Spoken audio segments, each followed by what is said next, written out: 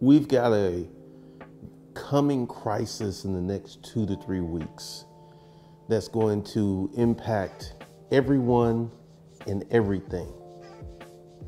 Now, what is this coming crisis? We're going to get into that in a minute because I believe that this coming crisis is going to be the final nail in start jump starting the recession.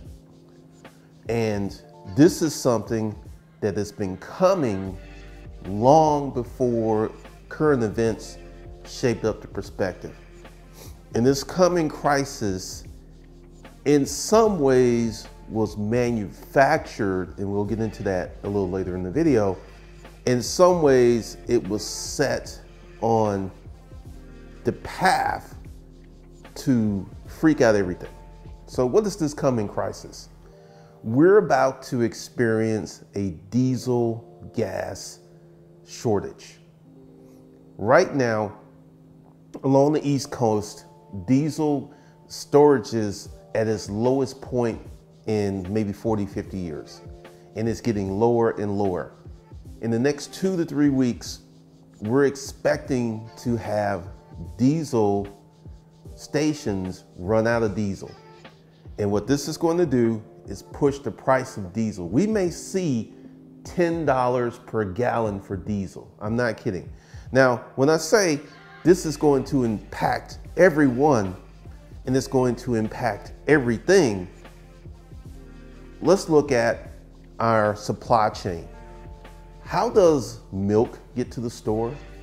How does gas get to the gas station? How do eggs get to the store? Everything is trucked in by a diesel tractor trailer. If it's not a diesel tractor trailer, it's a diesel box truck. Last mile supply. So everything is going to be impacted the prices of everything is going to go up because the price of diesel is going to go up. Now, this is what's kind of creepy about this. The, one of the reasons, this is just one of the reasons we're going to have a diesel supply shortage is we're shipping a ton of diesel to Europe. And Europe is already paying, I believe, eight or nine dollars per gallon. So the diesel suppliers are willingly starving America because they can make more money by shipping the diesel to Europe. Now, why is why why do we have this issue? The biggest issue we have is over half of the diesel refineries in the United States have shut down since 2008. So we have a manufacturing issue with diesel so this shipping of the diesel, and once again, this is a capitalist society. They're going to go where they can get the most money. That's why I say that we're going to see $10 per gallon for diesel. And I've been watching a lot of trucking channels, and diesel has been hammering truckers this year. The price of diesel has like dramatically reduced the profitability of some shippers, of some trucking companies. So when this comes, you're going to see a lot of trucking companies go out of business because these trucking companies are too leveraged. Now, the trucking companies that have no debt, they're going to be able to survive.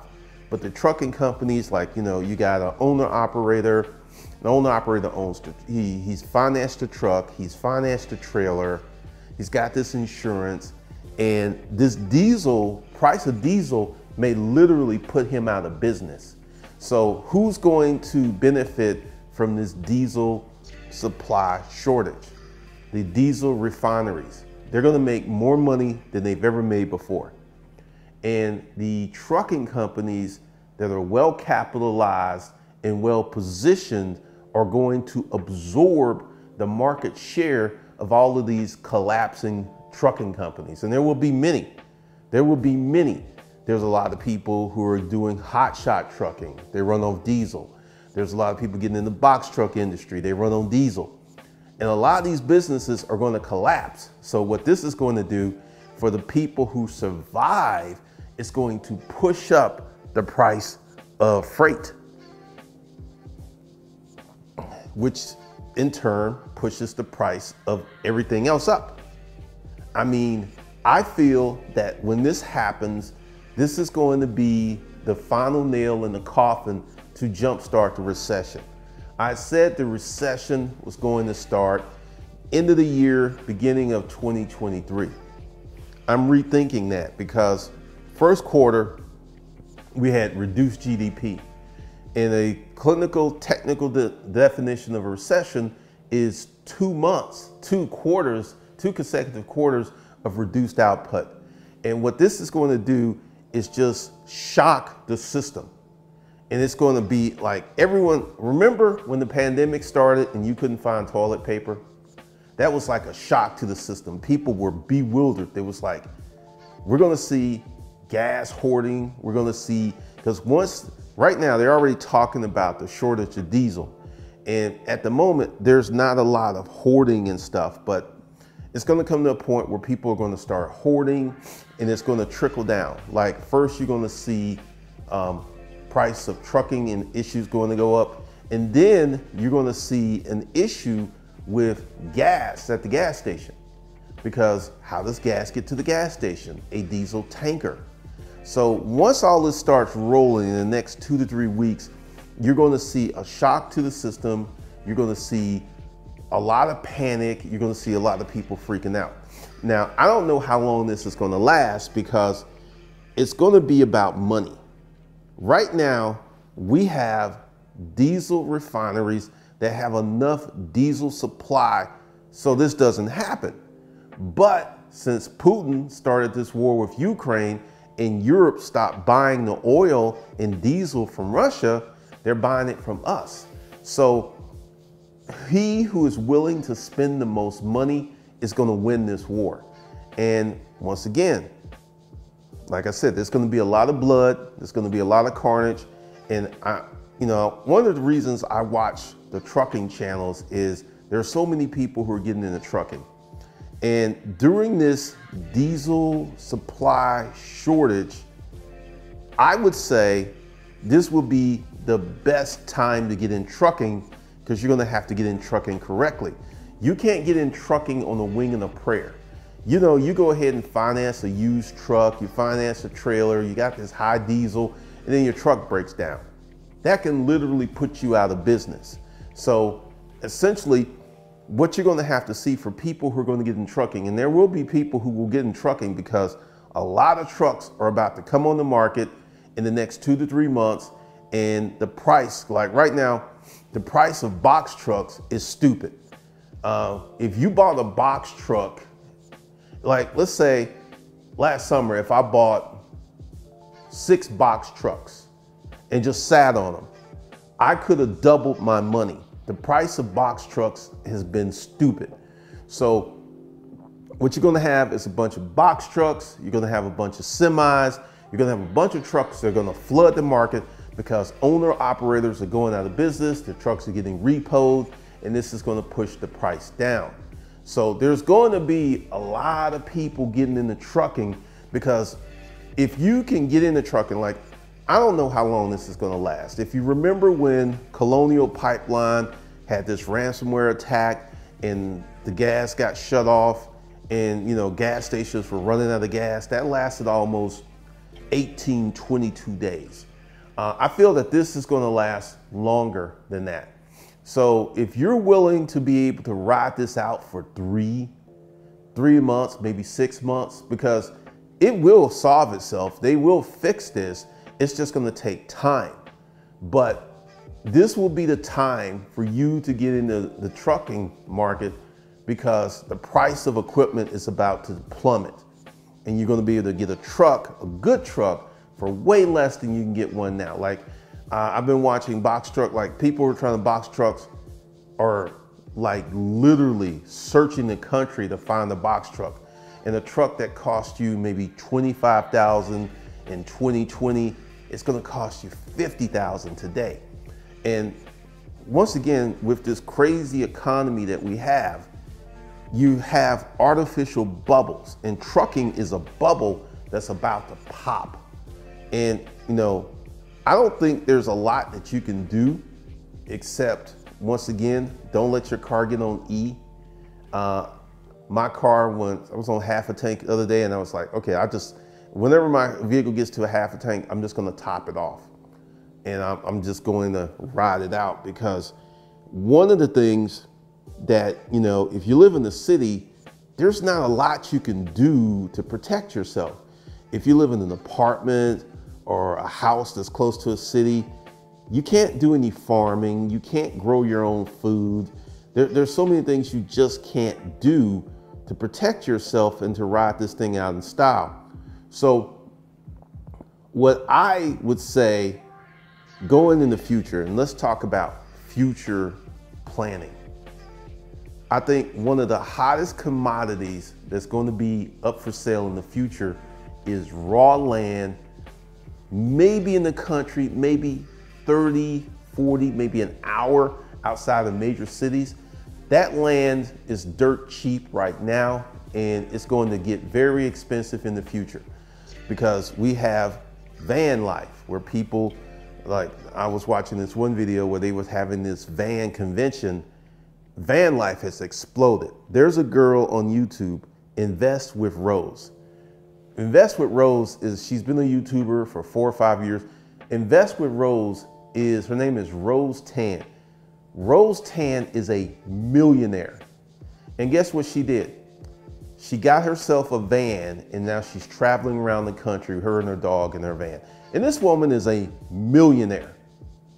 So van life is huge. This is one of the industries that if you wanted to get into converting vans into livable habitats, that's going to be a growth industry because right now we have people. Uh, there's another group of YouTubers, Kate and uh, I forget his name, Kate and Nara, uh, Nate and Kara.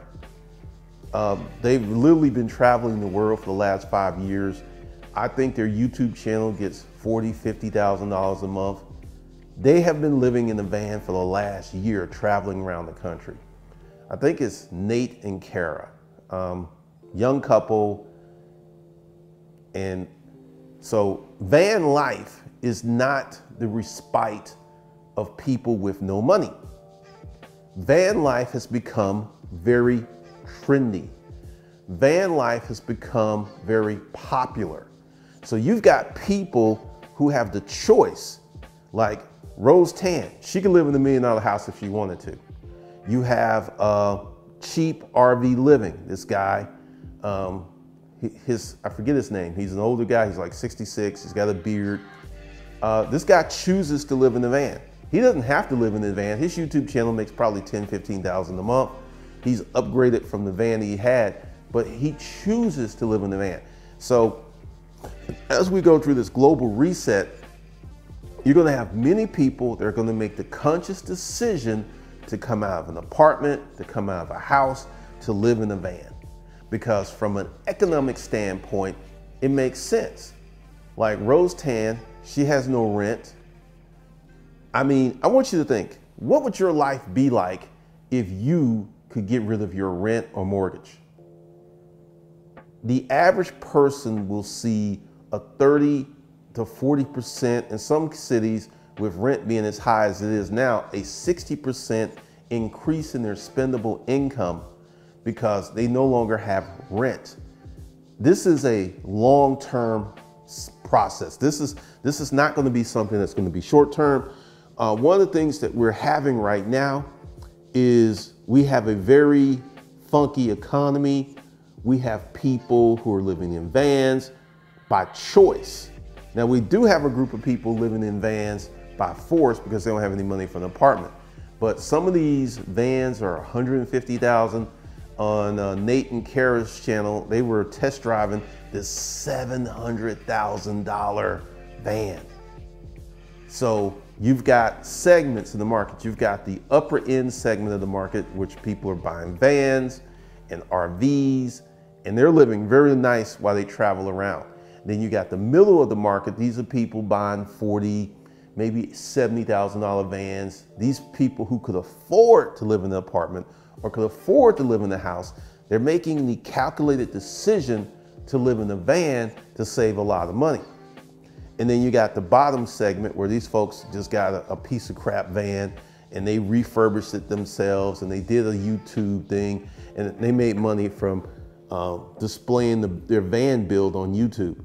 But this this diesel supply shortage is going to be you're going to see gonna, it's already in the news but it hasn't hit a crescendo yet. But once it hits this is when you're going to see the issues. Now who is this going to impact the most? Low income people. If you make $250,000 and the price of everything goes up 8 9% you're annoyed but you can weather it you can handle it but if you're poor, and you don't have a lot of money, and stuff starts skyrocketing, it's like, do I pay the electric bill or do I pay gas? Those are the decisions that you're gonna have to start to make. So it's going to be really, really bad for a lot of people. And like I said, I'm estimating this is going to last three to six months because the market will correct itself because we got stuff that has to be moved. We, we got stuff that has to be moved. So what I feel is the shippers are going to pay the money to move this freight because it's better to make less money than to make no money. So I think that's going to be the calculus that they're going to make, and they're just going to pay these higher shipping moves. And this this isn't going to last forever, but it's going to last more than a few weeks. I estimate three to six months where this is going to be going on. And this is like, if it lasts six months, this is where you're going to see a mass exodus of people leaving trucking because they entered trucking wrong. There's this guy on YouTube called Not Your Average Trucker, and he runs a fleet of trucks that he paid cash for. So he's going to be able to keep doing what he's doing because he doesn't have all of this debt to service.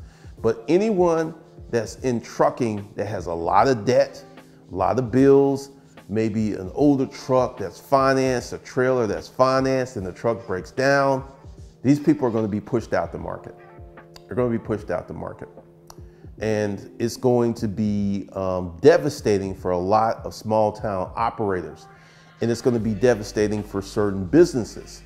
Like gas stations, they're going to make a lot of money because the price of diesel is going to go up, the price of gas is going to continue to go up. So, my advice to you is to exit the low income status that if you're in.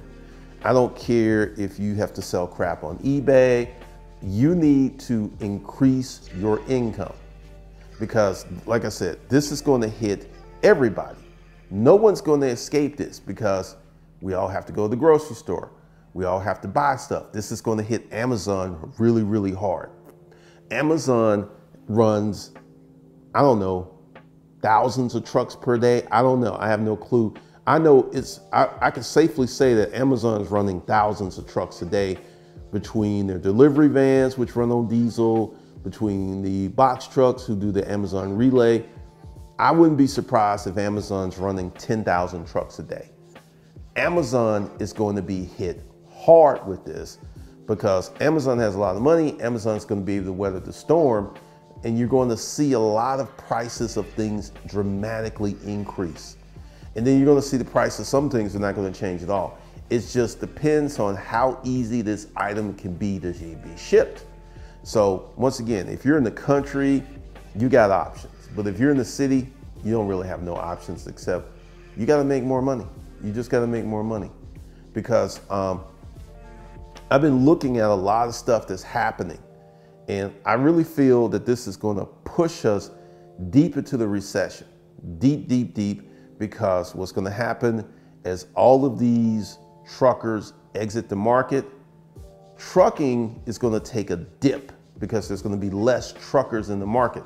Freight prices are going to go higher, but there will be less trucks to move product. So our GDP, GDP is going to take a hit. And because the price of stuff is going up, a lot of people are just not going to buy. They're going to be unable to buy. So this is going to hit us again.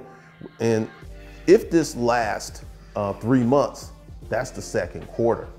If this lasts six months, that's the second and third quarter. So that's going to be three consecutive quarters of net growth. So we will be firmly in the recession in the middle of 2022. And I don't think this recession is going to be easy, quick, or simple. Uh, right now, it's impacting the housing market. Right now, because interest rates have gone up, people are canceling contracts to buy because they can no longer afford a house. Like, say you put a contract on a house the first of the month, and then your mortgage interest rate went up two basis points. You can no longer afford that house. So you're getting a lot of houses, contracts being canceled, a lot of houses are going back on the market, and this is just the beginning. Once these new bills come on the market, I once again, I don't think the price of housing is going to crash like it did in 2008, but I do believe it's going to stabilize and it's going to dip because the appreciation of houses and rent, it's been stupid. I mean, I was listening to Dave Ramsey and people calling up, my rent went up $800 in a year. Uh, the average person cannot afford that. So right now, we have a situation where the average poor person cannot afford the basic house. And we have a situation where the average person cannot afford a nice apartment. You got to go an hour outside the city to be able to afford rent. So what we're going to have is a correction in the market. Uh, rents are going to have to come down. Housing prices are going to have to come down. And people are, you know, I feel the next two to three years are going to be funky because in these next two to three years, you're going to see a lot of um, change. Like right now, I was watching a channel we have more real estate agents, people going to real estate agent, becoming real estate agents than ever before because it's a super hot market. If you're a real estate agent and you flip, you flip a house, uh, you're making money. So we're going to see a lot of people exit real estate when this happens. We're going to see a lot of corrections in the market. We're going to see a lot of change in the market. So one of the things, now what can you do? I, I firmly believe that you need to make more money. That's your only option. Uh, I had a comment, well, stop making it about money. Um, let me tell it to all the broke people in the room. If you think being broke and embracing broke is a way to navigate this recession, this wealth transfer, this great reset, you are stupid. If you don't think that money is important in increasing your income and investing wisely, is the thing to do for going forward, you're just stupid. And it's gonna catch up with you. You're gonna be that person who's gonna be 66 years old eating dog food out of a can because you cannot afford food. So go ahead and keep screaming, you stop making it about money. This channel is about money. I'm about money. Stop being a wuss Stop being a sissy, as we would say back in the day, and get out your feelings and start looking at the math because this great wealth transfer will create millionaires and it will create billionaires. It just depends on what side of the wealth transfer you want to be on. It's a choice because this is going to go on for the next 10 years. Next 10 years, this is going to be on and popping. So you can go ahead and position yourself to get more money, or you can keep whining about, stop making it about money like a wuss and just be broke and have no issue. Because one of the things, you know, because like I said, I'm not doing any Kevin Samuel videos, but one of the things that I know for a fact is Kevin Samuels made a lot of money from YouTube. I know this for a fact. And people hate the fact that this dude was successful and made money, that they start creating these false narratives that he didn't have any money. Somebody even put up a fake ass GoFundMe to denigrate this man in death. And I'm just sitting there like, how jealous are these people? How jealous are these people? You know, I'm just sitting there like, Stop being weak minded and envious and jealous of people doing better than you. let that go. Because all it's going to do is put you in the loser column, and it ain't going to be a good look. This is not going to be a look, good look. Because during this wealth transfer, you're going to have average people who are going to become millionaires because they position themselves right for the wealth transfer because they made the right decisions, they handled their money, they kept their debt low or non existent, and they're to do well. But if you are not focused on money, if you're not focused on your future, um, I don't know what to say to you because you're to get caught up and it ain't to be pretty. So let me know your thoughts and opinions on this, and I'll see you guys in the next one.